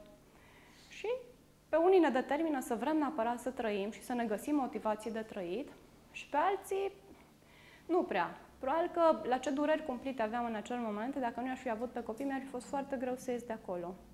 Mi-ar fi fost foarte greu în momentul în care cădeam pe jos prin casă, pentru că refuzam să iau morfină știind ce efecte are și că alterează starea de conștiință și am zis, mă vreau să fiu trează. Dacă tot e să sar gard odată în viața asta, fac un eveniment magic. Bine, mai trecusem prima oară clinică cu a doua fetiță, dar atunci eram foarte dresată de sistem, nici măcar nu-mi dădeam seama că murisem. Doar că vedeam toate chestiile 360 de grade, dacă am asta era tot filmul. Uh, mi-am dat seama că murisem când a venit asta și mi-a zis că de un sfert de oră stai în, uh, fără film. Și am zis, bun, nasol. Uh, și acum aveam ocazia să fac chestia asta conștient. Cum să iau morfină? Și durerile erau îngrozitoare. De câte ori mă trezeam, mă trăgeam de deget, că îmi zisese cineva deștept că dacă mori și te tragi de deget, ăla se lungește. Sau să împingi prin perete că o să treacă. Nu. Atât am ajutat mintea la vârsta aia Uh, mă trăgeam de deget pentru că nu venea să cred că existau momente, apropo de crize epileptoide și de... Pentru că natura nu vrea să te omoare. În momentul în care tu ți-ai rezolvat conflictul și am început să-mi doresc să trăiesc, culmea, treceam prin tot felul de crize din astea, prin crize de vindecare, ba lichid, ba nelichid, mi se umflau picioarele, adunam lichid în burtă, aveam tot felul de transformări. Dar n-am fost atentă la ele pentru că uneori se formau, dispăreau, da, pentru că natura nu vrea moartea. Dumnezeu nu vrea moartea păcătosului, ci întoarcerea lui. Dar noi nu vedem lucrurile așa. Zicem, acum vrea să mă moare Dumnezeu, că cu durerile astea mai rău nu se poate. E bine, dacă reușești să treci peste ele, ți-ai învățat lecția. În natură niciun animal nu se devalorizează de bună voie. omul, culmea, face de valorizare de sine pentru temirce, pentru tot felul de aberații, nouă începe să nu ne mai placă de noi și începem să purtăm tot felul de măști. Nu mai departe de faptul că noi ne vopsim părul. Adică suntem singura specie care, în loc să aprecieze faptul că îmbătrânim și, și ne maturizăm și teoretic ne înțelepțim, începem să punem în capul nostru vopsea de păr, că aia e bonus, e dată de Dumnezeu și arătăm mai bine. E ok, e în regulă, doar că asta înseamnă că stima noastră de sine este la nivelul copilului, că nu, nu ne place de noi așa cum suntem. Bine, nu facem cancer din asta, nicio problemă, dar asta ne arată de fapt că noi nu reușim să prezentăm celorlalți pe cine suntem noi cu adevărat. Ne trebuie întotdeauna artificii pentru a vorbi despre noi, ne trebuie măști. Cum ziceam, cea de-a treia lege a doctorului, cea de-a doua lege zice așa, fiecare program biologic are două faze. O fază activă și o fază a conflictului, fază activă de conflict și o fază de post-rezolvare de conflict, post-conflictoliză. Deci după rezolvarea conflictului intrăm în faza asta până la cicatrizare sau sacrificare, după care intrăm pe ritm normal. Asta până aici, probabil, nu știu, face sens pentru voi. E clar că trecem prin cele două faze și că după ce ne-am rezolvat conflictul nu suntem, rezolva, nu suntem vindecați. Adică nu s-a terminat cu transformările din corpul nostru. Deci corpul nostru continuă după acest moment de rezolvare a conflictului să sufere transformări. Culmea, doctorul Hammer vine și ne arată cum dacă un program din ăsta, de exemplu pe oase, așa cum vă ziceam, acel cancer osos și multe alte cancere, legate de imaginea de sine, încep să se formeze abia aici, Cancerul intraductal de sân. S-a rezolvat conflictul, a murit puiul la căprioară. Asta este, începea să golească laptele. După ce s-a rezolvat conflictul și vede că nu mai poate salva, a murit, asta este, uh, își golește ductele de sân. Femeia ce face? După ce își rezolvă conflictul cu un bărbat în care face de valorizare să ulcerează ductele, începe, da, pleacă, divorțează bărbatul sau moare sau pleacă copilul la studii face acel cancer de sân și ce se întâmplă? Acel cancer de sân intraductal apare doar după ce femeia și-o rezolva conflictul. Uh, ea își rezolvă conflictul și noi ce facem cu ea? Îi dăm chimio, îi dăm raze, o ajutăm puțin să nu-și mai rezolve conflictul definitiv. Dacă se poate, mai amputăm și un sân ca să facă de valorizare de sine cât încape. Uh, și acel cancer apare după ce femeia și-o rezolva conflictul. Îi generăm conflicte secundare, e pus diagnostic de cancer, riscă să facă frică de moarte. Mai face un releu și în trunchiul cerebral pe frica de moarte. Dacă face de valorizare pe sine, uite cum îmi arată sânul sau uite cum arată toracele meu fără sân, mai ales dacă avea un cult a cât de bine trebuie să arați, te trezești cu ea cât mai face și în substanță albă pe devalorizare pe coaste, că tu zici nu-mi place sânul și nu s-a plimbat prin sânge o celulă de capul ei ca să ajungă la coastă, ci pur și simplu ai generat un releu secundar în scoarță pe coasta de dedesubt, pentru că și coasta și sânul sunt dezvoltate practic din aceeași foiță embrionară, ă, din, ă, din același, ă, în perioada embrionară, acum nu știu cât embriologie știți voi, dar o să vă spun pe scurt că există acele neuromere sau metamere din care se formează diverse segmente ale corpului. Dar nu întâmplător, din coloana vertebrală, diverse părți ale corpului nostru sunt formate, sunt controlate de către acel sistem nervos. Da? O parte din măduva spinării începe și controlează picioarele, alta zona abdomenului, altele mâini, brațe. Deci totul este controlat de diverse părți ale sistemului nervos. În funcție de acele părți ale sistemului nervos care controlează o anumită zonă, dacă mie nu-mi place de sânii mei, voi face acele metastaze pe coastele de dedesubt. Dacă mie, de exemplu, nu-mi place colonul meu are o problemă, voi face o devalorizare la nivelul oaselor bazinului. Că e colon, că e ovare, că e uter, un fibrom, indiferent ce, metastazele apar în primul rând în zona bazinului. Cea de-a cincea lege spune așa, aceste programe biologice și aceste legi, celelalte patru, sunt valabile pentru toate bolile și nu doar pentru cancere. Și asta e motivul pentru care doctorului Hammer s-a luat licența de practică și s-a zis așa de către concernele și uh, acele persoane mari, șef de clinică și manager de spital, dacă vrei să nu-ți luăm licența de practică și să mai poți profesa, renunță și tu la legea asta care zice că măcar la a cincea lege renunță și spune și tu că e valabil numai pentru cancere, nu e valabil și pentru celelalte boli. Adică am înțeles că ne-ai luat cancerele și toată nebunia asta cu suferința oamenilor Dar nu mai lași tu diabete și asmuri și artrite și tot ce înseamnă medicină, că, na, s-a terminat filmul. Nu mai... Ce facem? Adică nu mai avem nevoie de medici. Nu că nu mai avem nevoie de medici de tot, ci nu mai avem nevoie de atâția medici specializați pe tot felul de feliuțe. Vom avea nevoie de niște medici holistici care să știe ce?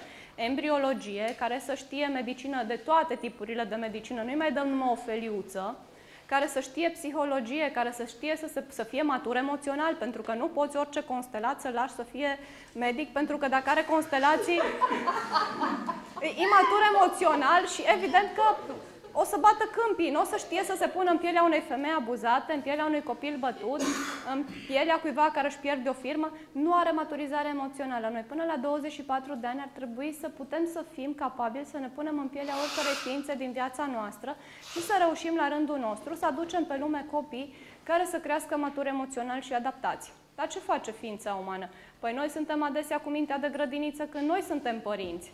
Și ne trezim copii cu copii care habar n-au de nevoile celorlalți, care nu și-au făcut ei nevoile. Și mă duc în parc și văd pe trambulină din aia de sărit un părinte care îi plătește copilului 5 minute. După 2 minute zice la copil, încalță-te și îl dă jos de pe trambulină și sare părintele. Și copilul stă jos și urlă ca disperatul și părintele sare de nebun pe trambulină. Și am zis, nu pot să cred, ăsta e film pentru proști. Și culmea am zis, viața bate film, adică suntem mai nebuni în realitate decât să vedem filme. Pentru că asta e real, adică asta te ia așa și te șochează când vezi atâta prostie omenească și asta este ceva minor. Dacă când vezi părinți care bat bebeluș și ți-l aduce în urgență după ce l-au bătut cu capul de pereți, nu ne mai vine să râdem. Și când vedem tot felul de gesturi de maturizare emoțională, acele ființe au ajuns părinți, deși propriile lor conflicte sunt acolo. Părinți care își bat copiii pentru note, părinți care au tot felul de pretenții absurde, de la copiilor, că s-au mișcat la școală, că au vorbit, păi da, după, învață-l șapte ani, fugi, aleargă, strigă, să-l vezi că e viu, că e puternic, nu știu, după care bagă-l în clasă, du de la grădiniță și pune-l să stea acolo 4 ore, 8 ore, dacă se poate, să stea cu minte. Și ne mirăm că un copil matur emoțional vine la șapte ani, când îl duci în clasa întâia la școală și te întreabă așa cu niște ochișori mari, pentru că și-a făcut prima maturizare în care se luptă, până la patru ani creierul nostru inundă delta și ne luptăm. Și orice violență o vedem în jurul nostru, că e o violență verbală, oameni care urlă, strigă, pe acele aspecte, maturizarea lor e între sub 4 ani, 2-3 anișori, că la 4 ani copilul înțelege că dacă te-am lovit, te doare. De ce? Pentru că la un moment dat, poate nu, te-am, nu mai lovit tu, dar am dat cu piciorul în scaun și eu ce mă doare. Sau am căzut și mă doare și văd că curge sânge și în momentul ăla nu mai dau în tine, pentru că știu că te doare și mă doare pe mine cumva când dau în tine. Așa e structurat creierul. Și un copil normal, care își atinge maturizarea emoțională, niciodată nu o să urle la cineva, pentru că în momentul în care ai urlat la mine, nu-mi place. Și nu mai vreau să urli la mine, de asta nici eu nu mai urlu la tine. Adică face deja un târg cu tine la patru ani, nu mai urlu la tine, nici tu nu mai urla la mine. De la 4 la 7 ani, găsește strategia în care îți întoarce spatele și nu te mai ascultă și nu mă interesează. După care, dacă îl lași în pace, zice, mă, nu e adaptativ să nu, nu, să nu mă intereseze, pentru că dacă și ăștia mă lasă în pace, nu, mai, nu se mai întâmplă nimic. Și pe la șapte ani începe să vină să spună. Până atunci stă în capul lui și mentalizează și caută soluții. Și culmea copilul la șapte ani, deci un om la șapte ani, omuleț de șapte ani, știe să-ți spună, mami, ți se pare normal în clasa întâia să stau opt ore la școală. Adică, da, are 4 ore de școală normală, mai papă ceva la semi-internat și până la 4 seara sau 5 sau 6 sau 7, depinde de școală, copilul tău stă la școală. Adică lucrează mai mult decât o normă de adult. După care deșteapta de învățătoare vine și zice, dacă se poate mai lucrați cu ei și acasă.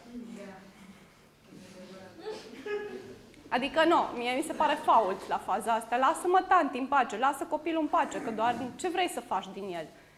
Și trimitem în clasa întâia la 18.000 de concursuri de la concursuri de frumusețe la concursuri de inteligență și o să câștige unul, ceilalți ce? Pierzători. Gândim puțin. De ce copilul meu să fie pierzător? Și a venit fiica mea și mi-a dat o lecție de viață în clasa în 5 când o la loc întâi la Națională de Atletism și a zis, mami, dacă vreodată voi alerga de, uh, pentru premii și ca cineva să piardă, oprește-mă că am înnebunit. Și mi-a arătat la un moment dat la televizor Olimpiada Handicapaților din China, în care ăștia aleargă, aleargă, aleargă, unii erau în scaune cu rotile, ajung la linia de sosire, Ajunge primul cu sindrom Down la linia de sosire și se întoarce și se uită înapoi și vede că la linia de pornire era un copil răsturnat în cărucior și începe să alerge înapoi. Toți ceilalți alergă cu el, uh, încep să se ia de mână pe parcurs, ajung la ăla, îl ridică din scaun și încep cu toții să defileze până la linia de sosire. Dragilor, în stadion era în picioare și plângea. Uh, prezentatorul săracul hohotea de nu mai se înțelegea nimic din ce vorbește, dar să dai seama că toată lumea și zice, oare noi vom fi vreodată capabili să cooperăm așa cum fac copiii ăștia? Sau era cea mai mare lecție de ce înseamnă să nu să n-aibă rost competiția. Pentru că competiția produce suferință și niciodată în natură animalele nu sunt în competiție reală. Oamenii sunt în competiție, ei se ajută, noi, da, se luptă pentru teritoriu, pentru un alta, dacă dau haita lor acolo, toți, toți pentru unul și unul pentru toți, ca în armată. La noi nu e așa. Noi suntem, dacă se poate, copilul meu să fie cel mai deștept, cel mai bun, cel mai, cel mai. Și ne castrăm copiii și facem să facă ceea ce vrem noi, ca și facultate, ca și job, că asta dă bine. Și ei sunt imaturi emoțional și ajung să sufere îngrozitor pentru că noi nu i-am iubit, nu i-am întrebat nici măcar o dată Puiul mami, puiul tati, ce te face fericit? Trebuie să faci aia, să ai statutul ăla, să mă urmezi pe mine la job, să faci ce am făcut eu, că asta aduce bani, că asta aduce status social, dacă eu sunt medic trebuie să te faci tu medic. Și așa am ajuns cu un coleg care făcuse la un moment dat uh, o depresie severă, cu risc suicidar cât de mare și îmi zicea, tu dăm ceva să mor, că eu n-am curaj să mă sinucid, că na, nu vreau să le fac asta părinților mei. Zic, dar ei te-au făcut să mor, tu ești mort deja datorită părinților, care sunt mari profesori universitari, vreau să faci un aspect de medicină care ție nu-ți place și lui îi plăcea informatica, pentru că asta, nu e sub, asta e sub statut de medic. Asta e sub, ca și cum ar fi măturătorul de pe stradă, ca și cum ăla n-ar fi tot om. Adică ca și cum ar fi țigan, ca și cum țiganul n-ar fi tot om. Da? Mă distram ieri că mi-a venit o pacientă și în, în curtea vecină, țigani. Și au zis, vai, când am văzut zona asta, am zis că, bă, frate, am venit într-o zonă cu țigani și am zis, da, ei nu sunt tot oameni. Deci în aceeași zonă locuiesc cu oameni foarte faini. Uh, de ce eu, de câte ori vin acolo, văd oameni faini, văd și pe ei foarte faini, de ce tu vezi exact acele aspecte? Pentru că atragem spre noi oglinzile noastre. Dar noi nu vrem să vedem asta. Și noi zicem că lumea e rea, de ce? Pentru că în oglindă noi atragem spre noi și culmea, noi nu vedem, ca și copiii aia care nu l-au văzut pe colegul meu, ei nu văd nu l-au văzut. Deși venea să le vorbească la o clasă de copii de ștabani, nu, de oameni cu bani, nu, nu-l vedeau. Ei fiecare erau cu filmul lor, nu le stătea minte la ce vorbește ăsta. N-au nicio treabă cu el. Așa trăim și noi viețile noastre. Habar n-avem ce vorbește partenerul de cuplu, habar n-avem ce vorbește copilul și copilul zice, mama, așa e că nu mă asculți. Dar te-am ascultat. Ce da, da. Uh-huh. Dragilor, Haideți să recapitulăm un pic chestiile astea, ca o mică concluzie. Deci, Dania Hammer zice așa, fiecare boală este un program biologic cu sens al naturii care vrea să ne facă mai adaptativi și mai puternici. Și ca cea țintă de tir și acel program să se declanșeze în 40 de secunde de când suntem în contradicție cu realitatea, de când așteptările noastre sunt altele decât ceea ce se întâmplă și dacă ne ia brusc, resimțim în solitudine și nu avem rezolvare, începe acest program. Este vreun lucru pe care îl putem face ca să prevenim asta? Da. Să nu fim în solitudine. Da? Vorbiți despre asta, găsiți soluții, maturizați-vă dacă nu aveți acea maturizare potrivită. A doua lege zice fiecare program are două faze. Acest program este rece și mintea noastră este direcționată tocmai ca să găsim soluții. Ca această țintă de tir să nu crească prea tare și să prindă relele din jur, să se păcălească doctorii să zică s-au metastazat cancerul, s-au făcut metastaze, s-au împrăștiat. Au făcut pui. Avem niște comparații îngrozitoare. După care trecem prin faza asta și acea criză epileptoidă în care amețim, strănutăm, oftăm toate oftaturile și strănuturile. De câte ori strănutați, fie sunteți în contradicție cu mediul că voi aveți un program în cap, că afară e curent, că în casă e curent. Uh, e din capul nostru. Uh, sau s-a întâmplat ceva. Uh, la cursul de medicină germanică nu aveam voie să înregistrăm și evident că orice român aveam 5 scule de înregistrat și uh, întârziasem un pic la curs și până le-am pornit în față, lângă, în față, sub nasul lui domn profesor, tot hapciu, hapciu, hapciu. Pentru fiecare pe care l-am pornit și nu m-au văzut, am tras câte un hapciu și după 5 de hapciu, se uită asta brusc la mine și îmi face semn închide chestiile alea, că văzut că umblam pe obiecte micuțe de ascultat. Chiar dacă păreau telefoane, sau erau telefoane unele dintre ele. Dar deci, cele crize epileptoide au rostul de a scoate apa din perioada în care am fost în conflict Că că iupi, nu m-a prins. Nu, nu m-a prins, ba m-a prins. După aia, după criza epileptoidă, eram deja în faza de vindecare a conflictului. Sau pur și simplu cădem acele leșinuri, după care intrăm fie în faza de sacrificare, fie de cicatrizare. Sacrificarea apare că dacă acest program o dura mai mult de 9 luni jumate, naturia 9 luni jumate, de ce 9 luni jumate? Luați-o logic. Ea 9 luni jumate să aducă pe lume altă ființă adaptată la realitatea acestui moment. N-are nevoie de uh, o ființă neadaptată. Zice, tu nu ești exemplu bun pentru ceilalți, pe tine nu te las să procrezi, că dacă tu aduci copii pe lume la fel de inadaptați ca tine, uh, specia asta o să ajungă pe lună.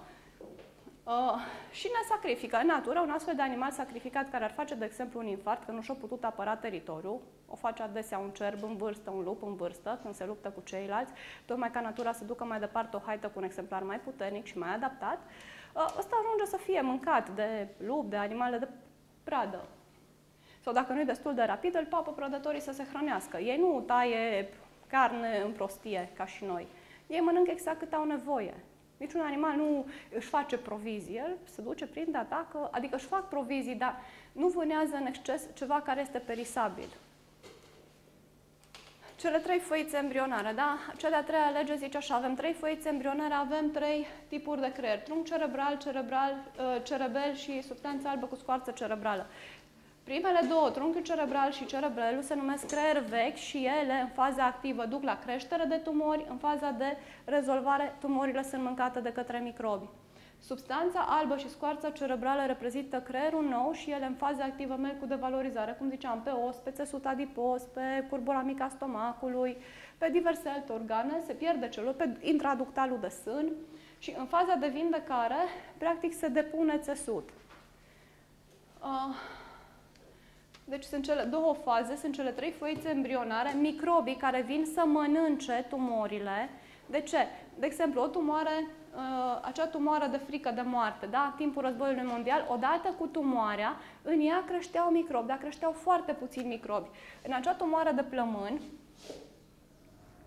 uh, creșteau deodată cu acel nodul și puțini microbi, puțini bacili tuberculoși, care nu mâncau tumoarea, creșteau proporțional încât la un moment dat, când omul își rezolvă frica de moarte și primește comandă de la creier la plămân, zice, a, deci putem să-i mâncăm, avem liberi. Și acești bacili tuberculoși încep să mănânce tumoarea și să evacueze povestea.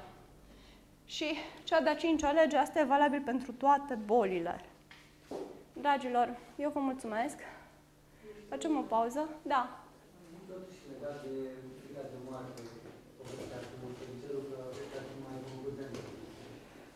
Bun. Ok. E foarte simplu.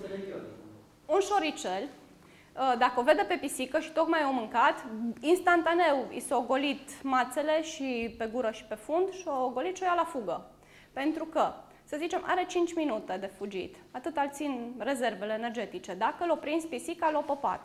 Lui nu mai trebuie să stea să digere mâncare. Și din plămânii lui, automat, de la nivelul creierului, prin acea moarte celulară programată, timp de 5 minute, mor celule, adică în fiecare secundă în tot corpul nostru 600 de milioane de celule mor, 600 de milioane de celule se nasc. Asta se întâmplă inclusiv la nivelul plămânului. Și acele celule de plămân care sunt înlocuite, ajung să fie înlocuite unele dintre ele cu celule mai puternice care să obțină până la de 20 de ori mai mult oxigen. Aceste celule specializate uh, apar la comanda creierului. Timp de 5 minute se tot formează astfel de celule ca acestui șoricel să îi se dea mai mult oxigen. Da? De ce? Să scape de pisică. Dacă vine pisi și îl papă, oricum programul nu-și mai are rost. Nici digestia, nici nimic altceva. Acelea sunt programe de supraviețuire, dar ține 5 minute. Dacă a intrat într-o vizuină, într-o găurică și o scăpat de pisică, începe să ce? Intră în faza de vindecare și aceste celule teoretic sunt mâncate de micro și face o mică pneumonie, tușește un pic strănută, nu are nicio expectorează ușor. Dar omul ce face? Îi se pune un diagnostic de cancer, ia asta ca și frică și sentință la moarte și omul nu stă cu sentința asta 5 minute, ci stă cu sentința asta până moare. Adesea cu sabia lui Damocles deasupra capului în permanență. Și el în permanență va face astfel de celule care să-i genereze noduli pulmonari. Pentru că în permanență creierul trimite mesaje, el are ținta, are releu activ în creier. Atâta timp cât el și ea sunt în fază de conflict, că am un cancer în mine, am un program, 3% conștient merge la job, își vede de treabă. Da, rămâne 97% subconștient care zice, ai un cancer, o să mori, ai un cancer, o să mori, pentru că tu ai primit o sentință la moarte. Dacă începem să nu mai privim cancerul ca pe o sentință la moarte, ci ca pe un program biologic, dar trebuie să ne convingem subconștientul, pentru că noi de mici am văzut. Lelea nu știu care o muri de cancer, doamna nu știu care o muri de cancer, bărbatul nu știu care o muri de cancer și creștem cu ideea că de cancer se moare. Și câți dintre voi credeți, credeați, cel puțin înainte de a veni la acest, la această conferință, că de cancer se moare? Mânuța sus. Uitați-vă la voi, da? Aveam impresia că de cancer se moare. E clar că e foarte posibil să fie adevărat, dar chiar te poți Vindeca? vindeca? Nu Că, de știu, fapt, asta e uite. întrebarea. Sunt aici, sunt vie, mi s-au mai dat 10 zile de trăit. Dar ce înseamnă vindecare? Că e atât de Ce înseamnă puțin vindecare? minunat. Ce înseamnă vindecare? Pentru că vindecarea, de exemplu, dacă ai fost vaccinat și ai un cancer de sân, da, acel cancer de sân, simplu, face uh, practic conflictul, îi pleacă soțul, divorțează, nu mai poate alăpta, face nodulul la sân și nu are cine să-l mănânce, că nu mai are cui să-i dea lapte, face un cancer intraductal și nu mai are cui. Și poate rămâne cu exact tumoarea pe loc. Poate că reușește să rezolve complet conflictul și rămâne încapsulată și se duce la doctor și poate să-l depisteze că femeia, dacă nu stă să se palpeze, o pleca bărbatul, nu a mai palpat-o nimeni la sâni, are sânii mari, nu are nicio treabă cu ei și o depistează unul cu toate screeningurile noastre, că ăștia trebuie să-și facă norma la cât de mulți cancerori sunt pe planeta asta și culmea, Screening dă, e foarte important, să știi. E foarte, nu zic că nu e important, Trebuie să încurajați pe oameni să facă screening. îi încurajez să-și facă screening cu condiția să înțeleagă de fapt ce înseamnă un cancer, pentru că e foarte bine să fie depistat cât mai la timp. E adevărat, ceea ce spuneți dumneavoastră este foarte, foarte important, pentru că adesea ne neglijăm și mergem când deja corpul nostru clachează. Suntem, când ne depistăm adesea cu cancer, corpul nu mai poate face față, deja el era în faza de sacrificare. Salutare, Neică! Ai releu un creier atât de mare încât când se umple cu apă, adesea murim. Și se, aveți foarte mare dreptate, mulțumesc. Însă noi facem screeningurile astea și uh, nu por- pornim de la premise greșite. În sensul că facem screening, îi depistăm, dar de fapt int- introducem pe protocoale clasice, ceea ce nu-i ajută să supraviețuiască. Și de unde știi când ți-ai rezolvat problema? Îți faci un CT de creier fără substanțe de contrast și dacă releul e activ, e o țintă perfect rotundă, dacă releul e rezolvat, e o țintă plină de apă. Și dacă ți-ai rezolvat problema, poți să trăiești sau... Uh, ai mult mai multe șanse să trăiești. Evident, dacă ți-ai rezolvat conflictul, există și șansa să murim. Într-adevăr, există un procent de oameni care mor. Când mor? Ce v-am zis? Când se epuizează corpul de resurse și de energie. Când deja atât de mult ai uzat corpul ăsta cu conflictul, încât clachează. E ca o mașină, s-o terminat după ce ai hărțuit-o. Lipsa de energie, uh, invazia în alte organe, releul din creier foarte mare, dar și aici există leacuri și leacuri că natura e inteligentă. Dacă o luăm cu duhul blândeții și facem un astfel de conflict controlat, da, omul ăsta trebuie să aibă de plină încredere în tine și să meargă pe un program și pe un protocol super bine uh, supervizat. Eu de asta țin cursuri, că practic mă strădui să fac la un moment dat o clinică în care să-i scot pe oameni din mediu, pentru că dacă nu mor ei de la conflictele lor, eu moară aparținătorii care vin și se uită la ei ca la o mortăciune și îl văd de deja gata îngropat. Aici e marea problemă, pentru că am avut multe situații. Da, e schimbarea de mentalitate. Rostul e să, și cursurilor îi să ajutăm la schimbarea mentalității oamenilor, să nu se mai teamă de cancer, să vadă cancerul, să devină responsabil cu viețile lor, să se ducă să se depisteze și să nu se sperie și să înțeleagă ei înșiși ce se întâmplă de fapt în interiorul lor. Dar să spuneți că atunci cei care sunt diagnosticați cu diverse tumori organizate trebuie să facă CT-ul fără substanțe de contrast? Dacă vor să știe dacă sunt într-o fază activă sau o fază de conflict, da. Dacă Nu se vede pe remene nu știu dacă se vede, doctorul Hammer zice că nu. Și CT-ul cine Sau îl nu știu, interpreta? cine îl poate interpreta, de exemplu, îl interpretează Hammer, mai sunt câțiva în țara asta care le interpretează, la un moment dat interpretam și eu cu vreo 4-5 ani. În momentul ăsta, mie, personal, îmi ia cam 5, 6, 7 ore și nu e eficient pentru mine să stau să mă uit pe CTD, îi pun pe oameni să-și facă jurnal, acolo se întâlnesc cu ei și își dau seama la sfârșitul zilei câtă bucurie reală de viață ai. Uh, doctorul Lipton, care eu m-am vindecat fără să știu de medicina lui Hammer, am văzut un simplu documentar a doctorului Bruce Lipton, care e profesor de genetică și care studia distrofii musculare și și-a dat seama că pacienții lui, în momentul în care înțelegeau ce se întâmplă cu ei, numai distrofiile lor nu mai omorau și ajung să supraviețuiască la vârste foarte mari cu acele distrofii care de copii ar fi trebuit să-i ucidă. Uh, de ce? Pentru că și-o dat seama convingerile de, noastre de viață ne omoară, convingerile noastre de viață ne scot din boală și ne vindecă. Și am înțeles că dacă starea mea psihică este foarte bună, înseamnă că procesele din corpul meu vor fi reversibile și nu voi muri.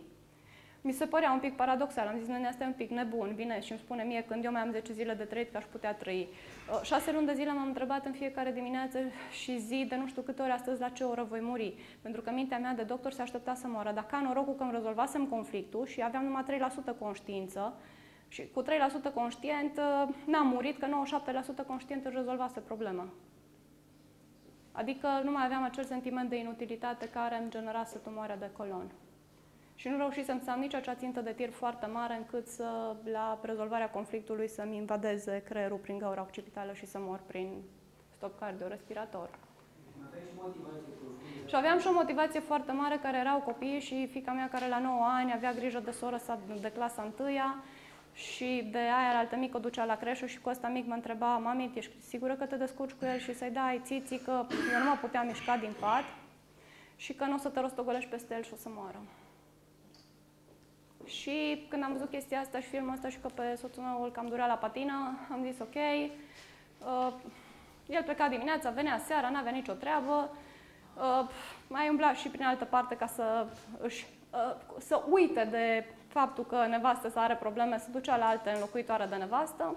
Și atunci, evident că îți creează o stare de frustrare foarte mare și am zis copiii mei, dacă eu am vreo șansă să trăiesc, merită să fac asta tocmai ca să nu trăiască într-un astfel de mediu.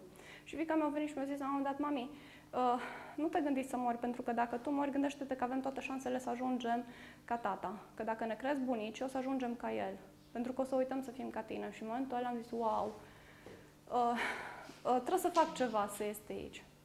Nu, și te mobilizează o chestie din asta. Cel puțin pe mine m-a mobilizat foarte tare. Vin mulți oameni care n-au copii și îmi spun dacă ar fi fost după mine, uh, aș fi murit de mult dacă nu aveam copii. Pentru mine n-aș fi luptat. Uh, mi se pare viața asta un nonsens. De ce? Pentru că ești conștientizează propria imaturitate emoțională, că sunt contradicție cu o grămadă de lucruri din mediu, că de mic ți s-o citit povești frumoase. Da,